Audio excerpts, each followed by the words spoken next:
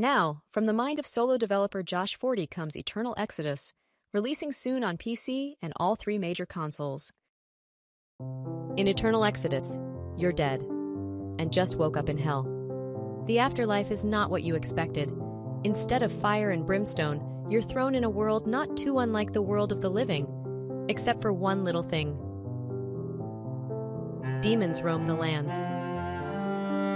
But that's okay. You have a subjugator, a device on your wrist that allows you to capture and summon those demons. But doing so will put you at odds with the Crown, a pseudo governmental organization that controls much of the world and doesn't support private citizens' right to protect themselves with these subjugators. To evade the Crown's pursuit, you'll have to band together with a ragtag crew of mercenaries who strive to confront the Empire head on and liberate its people. And if you're going to do that, you're going to need a powerful army of demons. Inspired by features in the Shin Megami Tensei franchise, you're able to fuse together demons into more powerful species, passing on both spells and passive abilities. But not only that, what makes this game an especially unique entry in the monster taming genre is that you can craft weapons and armor for your demons, customizing them even further by boosting their strengths and filling in for their weaknesses.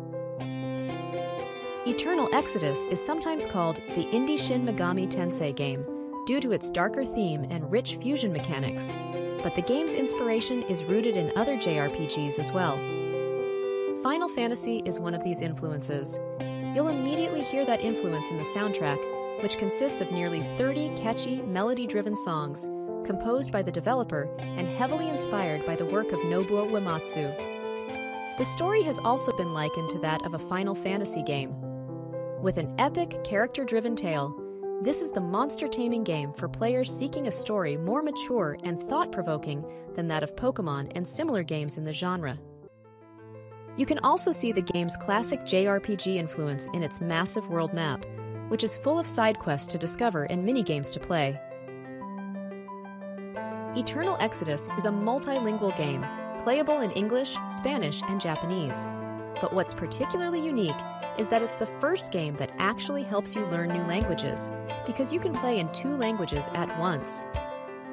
If you're learning Spanish, for example, you can play the game in Spanish, while having the English translation at the bottom of the screen, in case there's a word or phrase you don't understand. The same is true if you're playing in Japanese. Thank you for watching, and be sure to check out Eternal Exodus when it launches sometime in the coming months on PC, PlayStation 4, Nintendo Switch, and Xbox One. Please consider taking a moment to wishlist it on Steam to get a notification on its release, or sign up to the newsletter by going to eternalexodus.com.